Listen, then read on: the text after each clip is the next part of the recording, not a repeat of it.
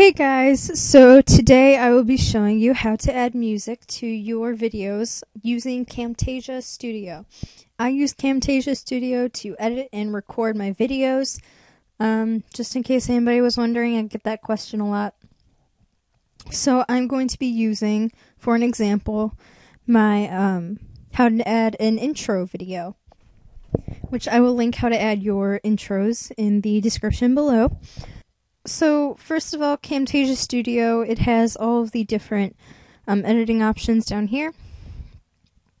And to add a second audio, if you already have audio here, you need a second one. So you want to go up to here to tracks and you just click on it and you click on audio to track.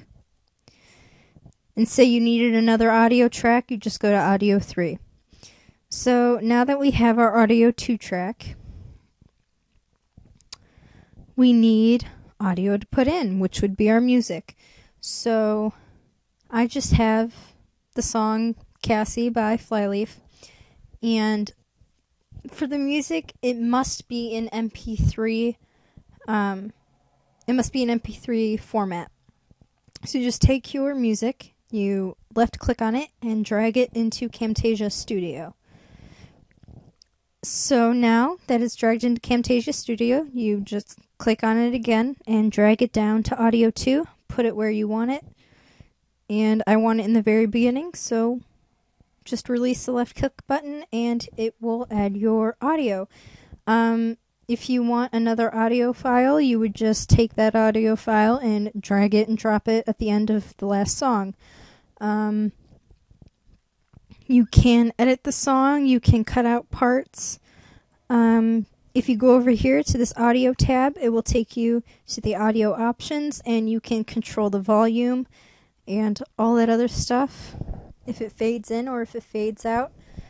And uh, now, say you didn't have any audio in Audio 1, you go over here and you click on this blue dot and it says, Do you want to permanently unlink Audio 1 from Video 1? You click Yes, and then you would just drag the music to here, and that would be it. Um, yes, that's pretty much it. Say I didn't want this audio anymore, I could just click on it, right click on it, and hit cut, and it would remove it, and then I can just take my music and put it in place for the audio.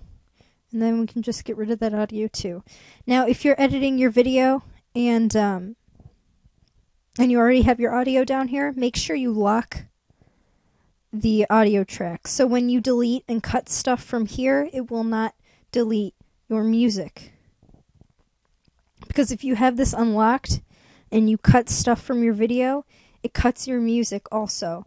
So it'll start halfway through the song rather than starting from the beginning.